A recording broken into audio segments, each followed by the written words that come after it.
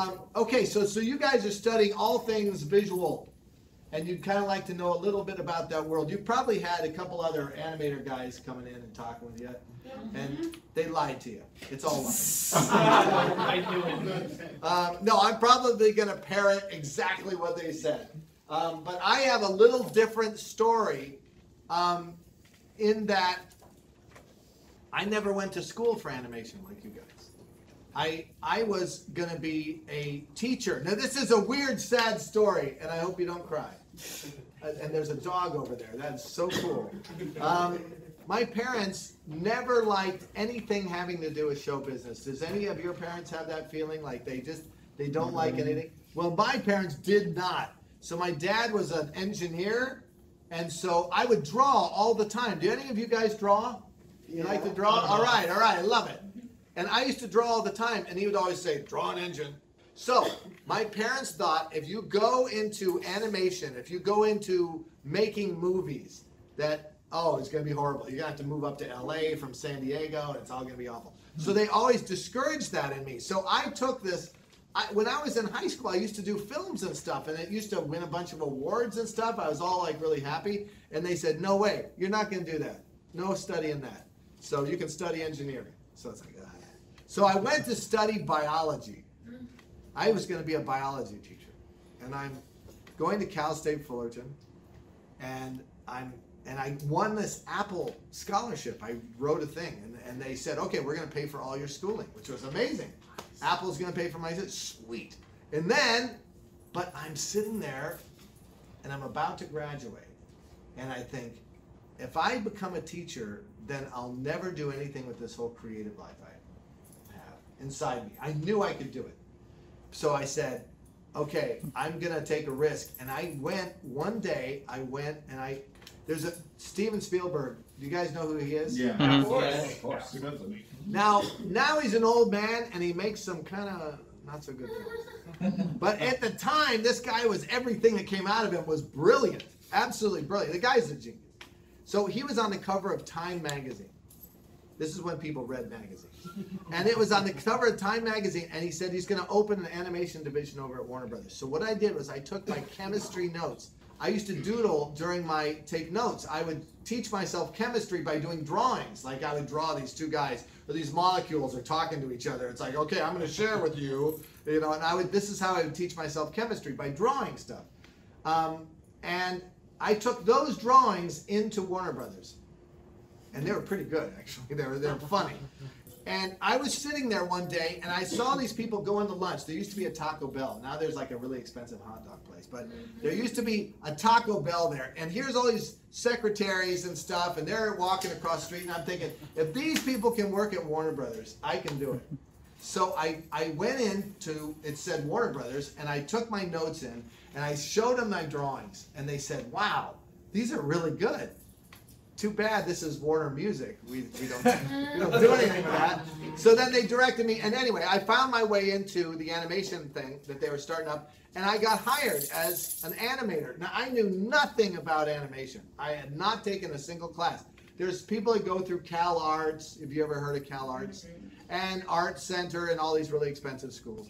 And I didn't do any of that. I was a biology guy, and I got a job at Warner Brothers, and I started working. And then pretty soon, um, I'm designing shows. I'm in meetings with Steven Spielberg. I was on a 2020, which is like a 60 minutes kind of like show with him. Um, it was really fun. I, it just kind of took off. I just I just got involved in stuff, and this is why like getting in with other people is so important because it doesn't matter if the place you're at is the fanciest place in the world or not. It doesn't really matter. It's being around other people where stuff is happening and then you learn how to share your creativity. I'm going to tell you, there's a there's a monster in this house, and the monster is, that's my idea. Hmm. Now, when you hear that come out of your mouth, you know it stinks like poop, hmm. because yeah, because that I, this is I had one director teach me this lesson. It's the greatest thing I ever learned, is that the idea is the important thing. That's the baby. That's the thing you're all taking care of. Your idea, your show is like a little baby that you're taking care of, that you're growing. And when you think of like, that's my idea, that's like saying, that's my leg, that's my finger, that's my eye. So anyway, what you want to do is you want to, you want to always share your creative ideas. Now I'm going to show you some stuff. So this is, this is me when I had that cool hat. Um, now I've, I've done a couple of things. Um, uh, Clifford the Big Red Dog. I don't know if any of you ever seen Clifford. Clifford. I directed all those things. That was with John Ritter, who is such a sweet guy. The guy that did the voice for that was the sweetest guy in the world. And when he came on to do the voice for Clifford, he had a real problem because he was a very physical actor. In other words, he was always acting and getting you to laugh because of how he held his body and how facial expressions and stuff. You know, was always he was always hiding somebody in the kitchen or something like that. And and when he had to do the voice for Clifford, it was very difficult for him. It wasn't working at first, and he was like, "Oh my gosh!" And instead of being like a, a, a like selfish and, and saying, "Hey, this isn't working," blah blah blah, he felt bad. He goes, "You know what? I'm not doing a good job." So he and I went and we sat out in this room and we just went over stuff. And he said, "I got to get this," and he just worked at it, worked at it. And then we went back into the room, and he and he nailed it, and he did great. For we did like sixty, what, sixty-four half hours of that show, and he did wonderful at it. He was wonderful. Um, unfortunately, he passed away. Um, and then Pinky and the Brain. Have you, any of you ever seen Pinky and the Brain? No, no. Yeah. Oh, what are we gonna do today, Brain? And then same thing we do every day, take over the world. Um, yes, that was that. It's funny that that show. I worked on that for um, uh, many years and did designs for that show. Um, and then there's some, probably some of you don't know much about, but uh, that that was like this show Jakers down here with uh, this little pig guy, and that show we won uh, a bunch of awards. I, I, got a bunch of awards at home that just gathered dust, but it's um, a bunch of Emmy awards. That's kind of like the Oscars for TV. Um, so I got a bunch of uh, Emmy awards, and uh, my wife has an Emmy award as well from working on that show. Um, and I got a, a, British Academy Award and I, a bunch of these little humanitas things that really gather the dust. Those guys. But the, the point of all that is, is that it's nice to do something and then get some recognition for it, whatever it is. So it's why it's really good. You probably enroll in like contests and stuff like that. It's really fun to do. It's a good thing to do. It's good to put your work up against other people. It's a healthy competition. So anyway, these are some of the shows I've done. Um, Ant the Aardvark. I don't know if you've ever seen that show. It used to run with the Pink Panther. And then, yeah, exactly. There's an aardvark and he talks like this. I got to get that ant. That ant is going to do it. Okay. Anyway, that was a show. So here we go. Let's go through the next. Can we go to the next slide? So there's a picture of me like 50 years ago. Now, um, when you come on to a show, for example, now when I went on to Ant the Aardvark, they were having a lot of problems. The director was not good, and the producer was not good, and they'd been goofing off for like a year and a half. And they'd spent all their money, and they hadn't sent anything to Cartoon Network. So Cartoon Network was mad, MGM was mad, and the people over in Jordan that were putting up all the money, they were mad. So I come in, and this is what they had designed. That guy, this guy right here, I'm going to tickle him. There he is. That guy is what they designed. Now, does that look like a, a Cartoon Network, like young teenager to you? No. Not really. Me. Looks like an old man, like a greeter at Walmart. like so, and the same with this ant, supposed to be like 12 years old or something. It didn't look like that. So anyway, I redesigned him in more of a Cartoon Networky, fun style. And I thought about when you're designing a character, you got to think about like, what is he going to do? What kind of stuff is this guy going to do? So I used to think I wanted to be all stretchy. I wanted to like get his nose caught and then be stretching it out and all that stuff. Well, this guy looks like he, you know, literally he's filled with guts. Like if he stretched his head, his head would come off. Mm-hmm. So uh, this this guy looks more stretchy. So that's I kind of redesigned him that way. Then I redesigned the backgrounds and stuff. And this is one thing that you want to do whenever you're doing video games, whatever you guys are doing. You think about how what you're doing is going to be played. Don't think about you. Think about who's watching it, who's playing it. You don't want to be thinking about you. So I was thinking about if I'm watching this show and I'm this character, I'm this creepy uh, aardvark, this guy right here, and all I want to do is eat this ant. I wanted. They had a house for him that looked like a a, a cute little cottage. It, was, it looked like Snow White's house. and he's got little little flowers planted out front and stuff. Now this guy's a creep. He's not gonna plant flowers. Oh, I gotta water these begonias. No. So I put him up on this craggy mountain, up a twisted path, and then he's got a telescope and he watches everybody down below. That puts him in like a. I'm spitting and you're getting it. Good. This is good. Um, it, it gets. It, it makes him in a predator mode, like like he's after that man. Okay, so we'll go on. So I redesigned the backgrounds. We just redesigned everything for that show, and it, it ended up winning a bunch of awards. Okay, we go on. So, so now, whenever you design a character, you got to think, how does that character look against the background? If you're in a, designing a video game, for instance, and you can't tell your character from the background, you, people easily lose interest. So you want something that's going to pop against that background. So we designed this this background here. See how there's it, it gives you the impression of a jungle, but there's really no individual leaves. This is the problem with drawing hair, by the way.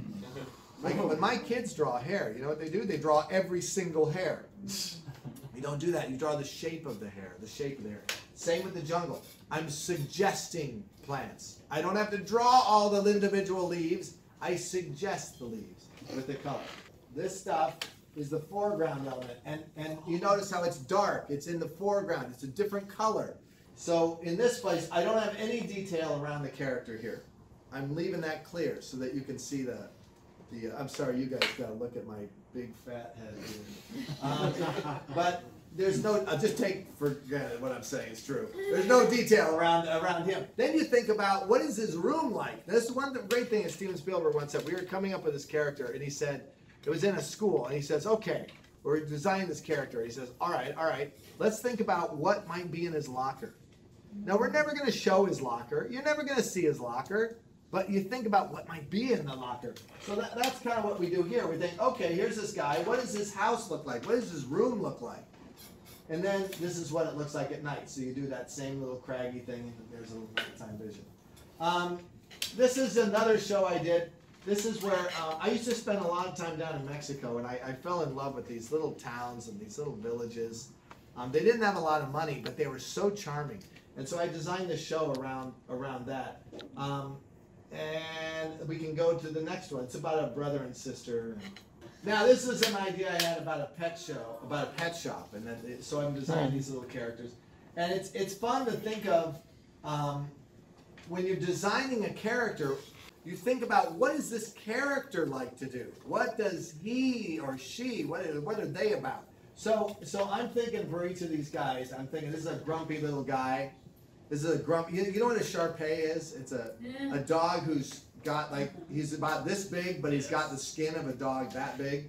Yeah. So he's got all these extra skin all over him. It's a so he's a grumpy little crabby guy. So I thought that'd be fun to have all these layers of of, of folds of skin all over him. And so you're designing these characters all with different um, personality traits. You, you know, you can kind of get an idea of who they are. This guy's really innocent with the big eyes. And the, um, this was some friends of mine had an idea. They were writers on a show I was on, and they said the, the reason I'm showing you all these because I'm, I'm showing you you can draw all sorts of different styles. You can come up with all sorts of. This is like looking at characters. So um, this was about a uh, a bunch of moon rocks that escape from the Smithsonian. And they they form uh, they, they want to make a rocket and go back home. But in order to do that, they need they need to you know get materials and stuff. So they go into a trash can. Here, they, here are the rocks right here. That's what they look like. But they go into a trash can and they find a bunch of stuff and they make a kid out of it. So it's a stick and a glove and an oven mitt and a baseball hat. And then they form this kid that lives in the trash can. And the school bus stops at the trash can and picks him up. And, and, uh, and the other kids think he's just weird. Um, so like dogs bite him and he never even minds. Um, anyway, that was that was another little thing we were designing up. Okay, next one. Now this was this was something that is near and dear to my heart, still is. Um, I was at a, a conference once, and this Senator Harkin came up to me, and, and he's a big guy in the government, or he was, and he said, the U.S. is getting killed in sciences. If we look around the world, U.S. used to be bing right on top.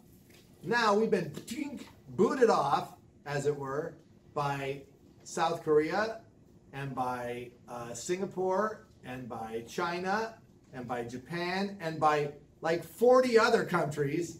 We're way down. We, we, we are losing our interest in science. Even though we do all these marvelous scientific stuff, as a, as a nation, our kids are starting to score badly in science. So, he said, could you design a show that would want to teach science? So that's what this was about. This was about uh, a show about a monster medic, a guy that was a medic to all these uh, monsters around the world. Um, and so it was a very colorful thing. I pitched this at, at, at um, PBS and at Cartoon Network and at Disney and everywhere. Disney just said, can they fart a lot? And I thought, no. Uh, I, really want to like get people interested in becoming doctors and such. So that's what this this show is about. And so there's scary moments and there's there's uh, funny moments and it's it's it was it was really a fun project and I'm I'm doing this as a book now because people thought it was too educational. Sad, sad, too bad. Um, because it was going to be very funny. Okay, next slide. So this is how this show starts out. You start out with the monster, and then you go to our characters. You know, so this would, uh, an example of this show, you'd start out, here's a guy working in an office place. Then, then yeah, he's a little stiff, a little stiff. He's working, he steps out into the cold, he sneezes, and he can't keep up the, the fake any longer. He takes off his mask and he's this giant fly, snot pouring out of him.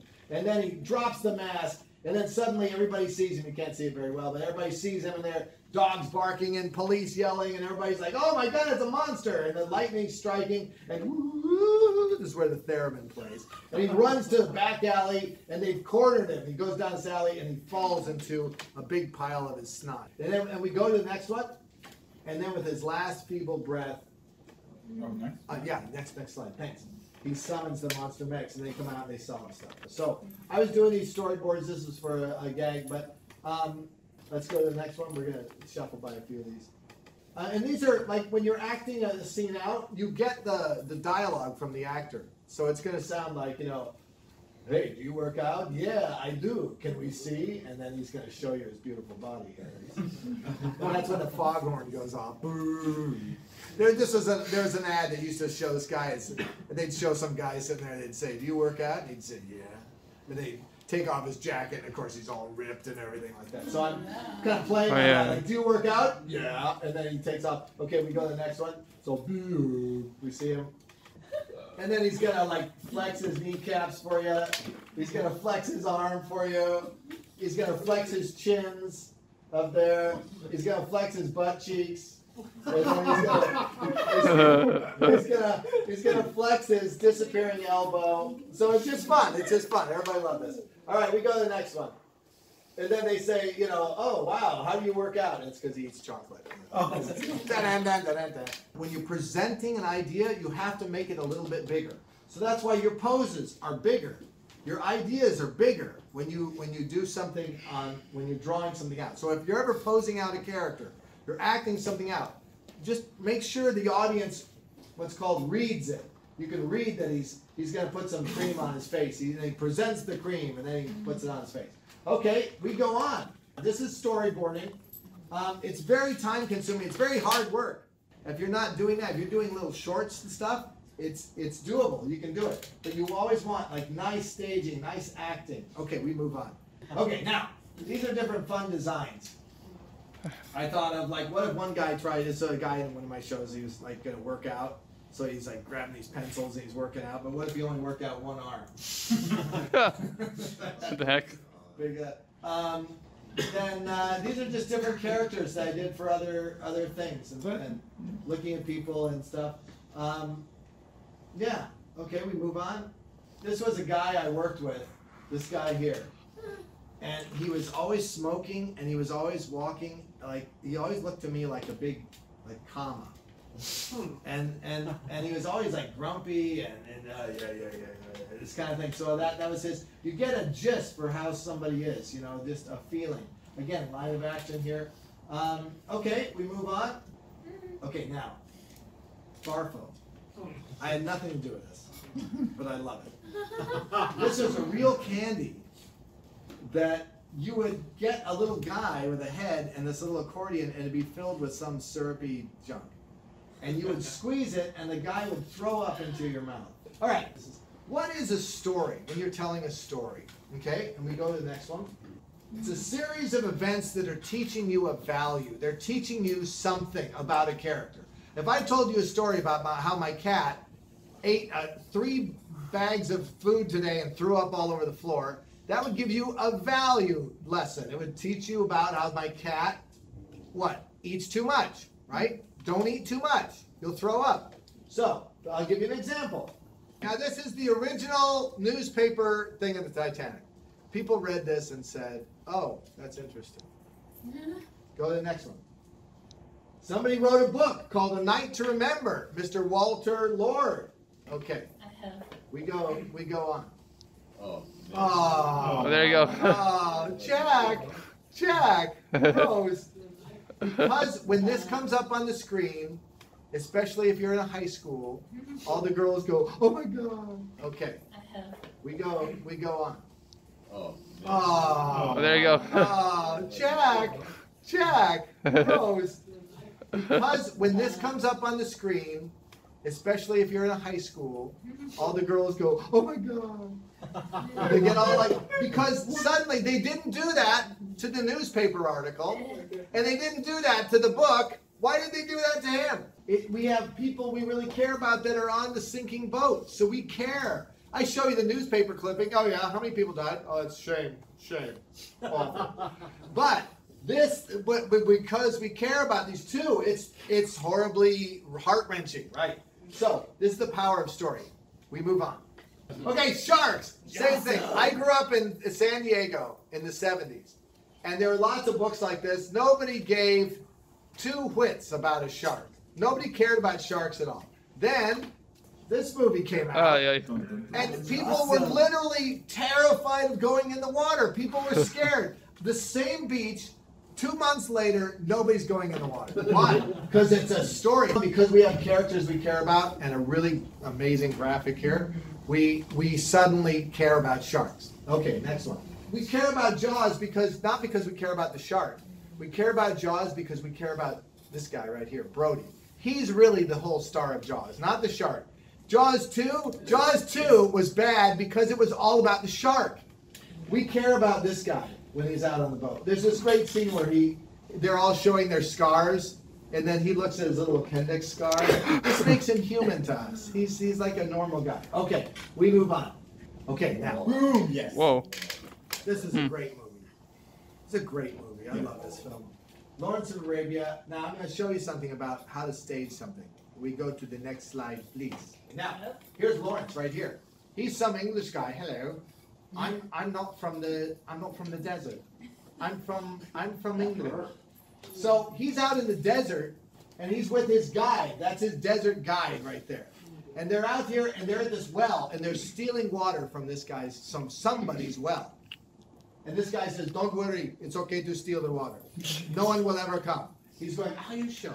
And then, boom, here comes this figure coming in the distance. Now, this is so beautifully staged. There's Lawrence, there's his guide, and here comes in between them this mystery figure. So, what happens is, this guy right here comes into the scene, shoots that guy, and takes his place for the rest of the movie. This is what you're here to learn, is how to stage things. Have you seen this movie, Her? No. Her is about a guy who falls in love with his computer. So, before he falls in love with his computer, this is his life. Does he look like a happy guy? No. Cheer up, cheer up. Okay. But then he fall he meets his computer, who's the voice of uh, Scarlett Johansson. Scarlett Johansson. And he falls in love. Now look how much red is in this shot. A lot. She's red, and then now he's got the red shirt. There's a red book. There's a red envelope on the two red envelopes. Outside we have red. Now keep going. Next. Now he's got a red jacket, and lo and behold, his hair starts to turn red. And throughout the movie, he gets more and more red. Okay, keep going. Okay, it's this movie probably none of you have seen called Toy Story 2. Yeah, I've seen it eight We've all seen it a million times. Yes. Okay, now let's go to the clip. In this scene, yeah, here's Jessie up here. Is she feeling good? Nope. She's feeling bad. Yeah. She's she's feeling bad because he's gonna go back to his owner, right? Mhm. And and she's abandoned yet again. So now, what what is this this little scene? Now, everything in a movie is not by accident. It's all there because someone designed it to be that way. Why is she facing that way? Like if you're gonna ask somebody out to dance and they do that to you, is that a good sign? No. No. Look, she's facing out the window. And then what's she looking at? She's looking at blue sky. Okay, here we go. Now, look at where she is, by the way. She's up above, he's down below. Now, one secret about filmmaking is that whoever has the higher ground often has the authority. That means that she knows something that Woody doesn't. Now, isn't that weird? That's all in this shot before a single word's been said. She's higher than he is. He's coming up to, to her. She's not going to him. He's going to her. Okay, play this. Look, Jessie, I know you hate me for leaving. Now, she's still looking at I have to go back. I'm still Andy's toy. That's okay. Well, if you knew him, you'd understand. You see, Andy's Let me a- guess. Andy's a real special kid. So I'm just going to point out a couple things. Like, for example, um, she's looking out the window, right? He's down below. She's got the authority. She knows something he doesn't know. That that he can be forgotten. Look at this down shot here. She's still. Is she facing him at all? No. No. No. And then she goes to tell her story. Hey, listen, the kids all love you. And then she goes to tell her story. And as she does, she's looking out the window. That's a perfect place for her to be to look into the past. You know, she's not looking at a magazine. She's not sitting on the toilet. No, she's looking out the window. So it's a perfect thing for her to remember how it used to be. So now we go to this is just when you go to design, you video game guys or anybody designing any scene. We go to her memory. Now, here's this girl's room. I ask you, women here, Mm-hmm. is this how your room looked like as a kid? No. No. Anybody? Kinda. No. Who here does their bedroom look like this? It was never um, that clean. No, there's uh, nothing in this room. Why is there nothing in this room? Now, John Lasseter had to sign off on this. Some background guy worked for months on this room. There, there would be posters, and, and you know, if you're designing this room, you'd say, oh, a girl, okay, what would she have? She'd have uh, Taylor Swift and blah, blah, blah. Which is, I was the center of this girl's life. Now, here's the beauty of this scene. This is what chokes me up. This isn't reality. This is her memory of it. This is her memory. And her memory is she is all that this girl's about. It's wonderful. It's so beautiful. That's why it hurts so bad when she left. But I want you to notice something about when we come back. She's Where's Woody? around. Yes, He's up there with her. He's up on her level now. Isn't that great? Isn't that beautiful? Uh-huh. That now she's turned toward him. Mm-hmm. They're having a conversation. She's opened up to him now. And he's on the same level. Now he understands. Now he understands. This is the power of storytelling. Visual storytelling. So when you get when you get any assignment and you think, okay, I, got, I just got to show that these two guys are going to go buy bananas. There's so much fun to be had in how do they get the bananas.